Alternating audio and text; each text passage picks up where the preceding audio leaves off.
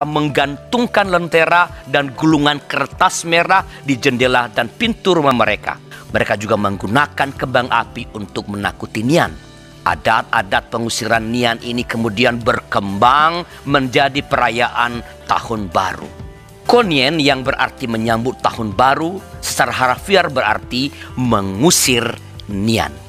Di Indonesia, selama tahun 1968 sampai 1999 perayaan Imlek dilarang dirayakan di depan umum oleh pemerintahan Soeharto pada waktu itu.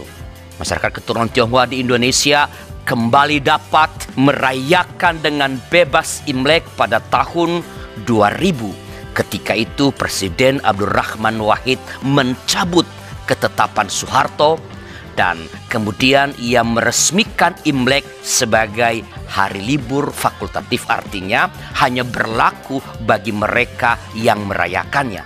Barulah pada tahun 2002 Imlek resmi dinyatakan sebagai salah satu hari libur nasional oleh Presiden Megawati Soekarno Putri dan mulai berlaku pada tahun 2003. Apakah orang Kristen boleh merayakan Imlek?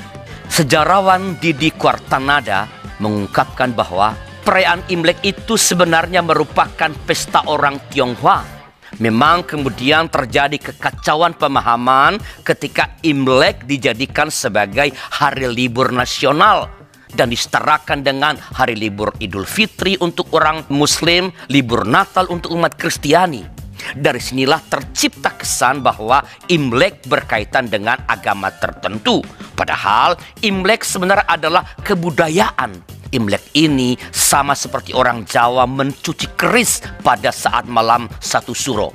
Sesimpel itu saja, kata Didi Quartanada.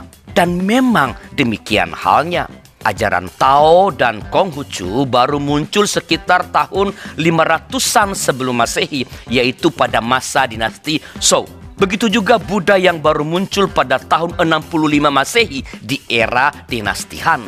Sedangkan perayaan-perayaan Imlek sudah ada jauh sebelum agama-agama itu ada di Tiongkok.